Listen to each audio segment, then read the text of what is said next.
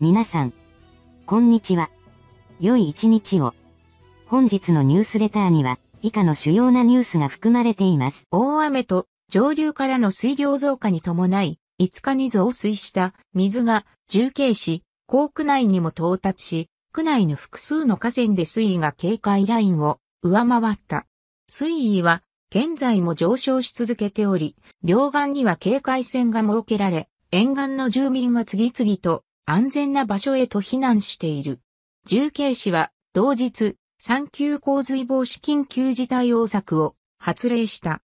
甲賀上流にある甘粛省衛生圏の竜野橋ダムでは、甲賀水害防止総指揮部からの指示により、下流への放出水量を大幅に増やした。ダム水位を低いレベルに調整することで、近く到来する出水期に備えて、ダムの貯水量に一層余裕を持たせ、より確実に郊外流域が無事出水期を乗り越えられるよう対策が取られている。超高水利委員会によると、朝7時の時点で水位は146.38メートルとなっています。6月10日に145メートルまで下げてから、ここ1ヶ月は145メートルから147メートルあたりで推移しています。ダムデータによると、三峡ダムでは流入量が多い状態が続いており、それに合わせて放流量も増やしているようです。ピーク時には毎秒28,500立方メートルあたりとなっていて、また放流量の更新となりました。水位が下がる傾向にあるのに、さらに放流を増やしている状況を見ると、今後、上流での増水が見込まれると判断しているのでしょうか。今のところ、基本方針として、水位をできるだけ下げておこうとしているように見えます。一方、上流の訓丹観測所では、流量が全体的に上昇傾向です。6月28日を起点に、2階の山があり、じわじわ上がって上がっています。上流に新しくできた、バイフタンダムの発電は徐々に出力を上げていると想定すると、しばらく、この状態が続くかもしれません、と連日、お伝えしています。今後、さらに上昇に転じるのか、それとも、下がるのか、西安チャンネルでは注目しています。長江の中流にある三峡ダムの上流には、様々な支流があります。大都市、重慶と上流の観測所はこの辺りとなります。訓丹観測所は、たくさんの支流が集まった先にある観測所です。南から流れ込む、右向以外の集約データがここでわかることになります。ここから三峡ダムまでは一本道ですので、ここのデータを見れば、時間差で三峡ダムのデータがある程度予測できるというわけです。先ほどのグラフのデータの例で見てみると、訓丹観測所での流入は毎秒1万6000立方メートル。三峡ダムの流入ダムの流入は毎秒2万2500立方メートル。ダムの直近の上流で雨が降ったケース。そして、右向という川からの流入が増えたケース。あるいは、その両方からが考えられますが、いずれにしても、毎秒、6500立方メートルの水が来ていると推測できそうです。さらに上流にある、4連の巨大ダムは、この辺り。一部で話題のバイフタンダムは、上から2番目に位置しています。YouTube で最近、バイフタンダムの動画が一気に増えました。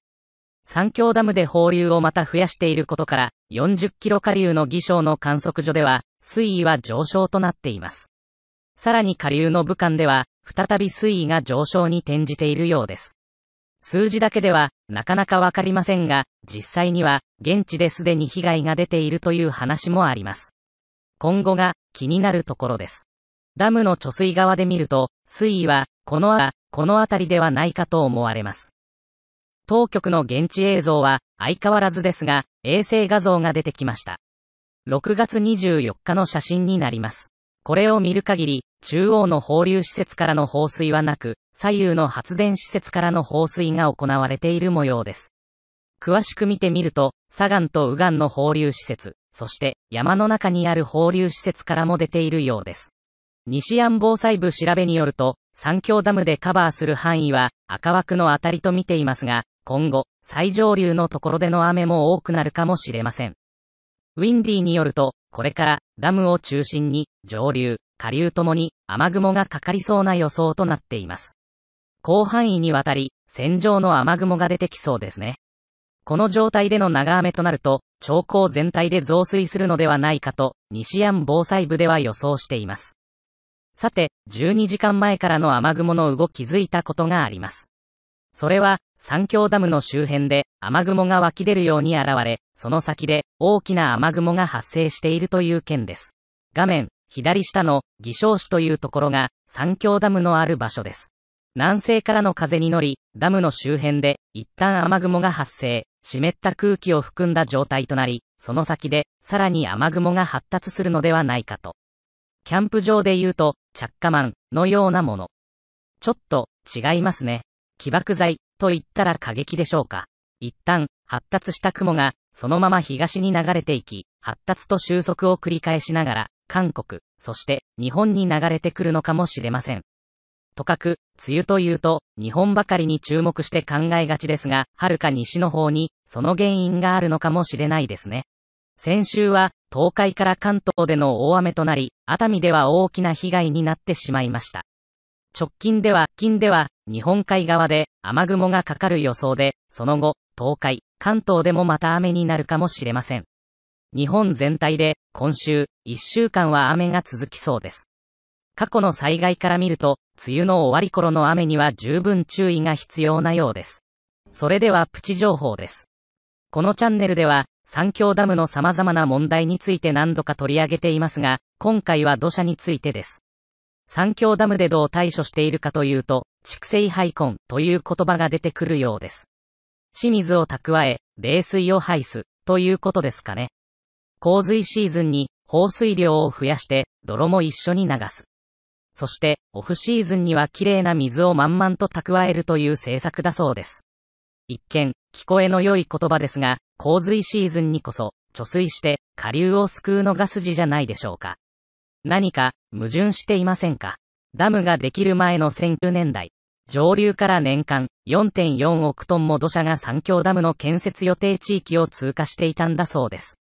そして、ダムが完成して、試験貯水任務と言われる試験により、175メートルまで水を貯めることで、土砂の流入が2億トンにまで減ったんだそうです。要するにダムの建設で、土砂が入ってくるのが少なくなりましたよ、ということを言いたいのでしょう。さらに、2012年には、土砂の流入が1.8億トンにまで減少と伝えられています。順調ぶりをアピールしたいのかは不明ですが、とにかく減ったんだそうです。もっともらしいことですが、よく考えてみると、少し引っかかります。毎日4.4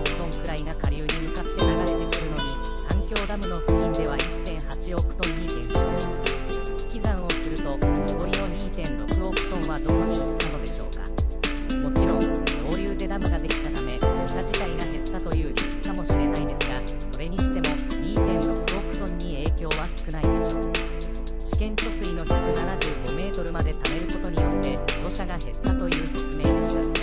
た。つまり、ギリギリまで貯水することにより、上流の川の流れるスピードが落ちたのでしょう。すると、水に含まれる土砂は、自由落下の法則に従い、どんどんそこに溜まります。環境ダムにたどり着く前に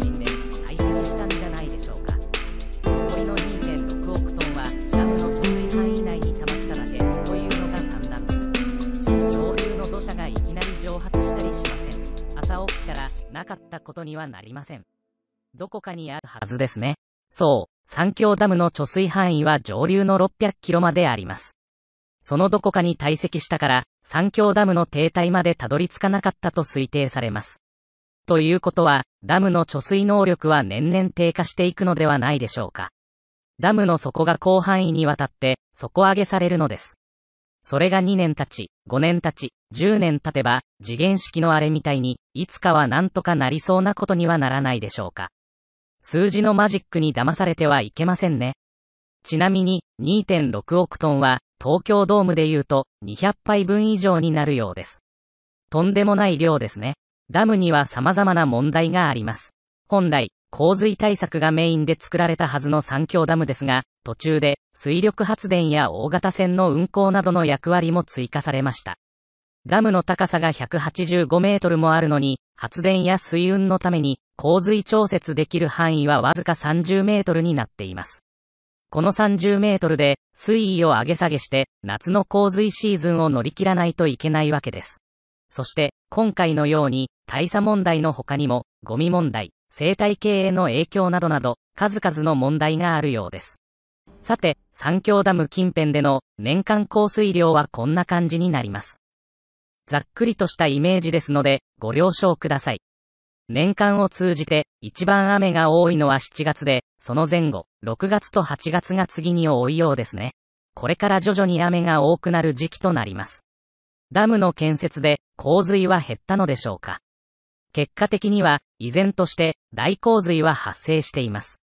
2020年は80年ぶりの大雨に始まり、5度の大規模な洪水警報が発表され、三峡ダムを通過していきました。ダムへの負荷はさらに蓄積されているでしょう。今年の夏も大も大洪水が発生するのか注目されます。引き続き見守る必要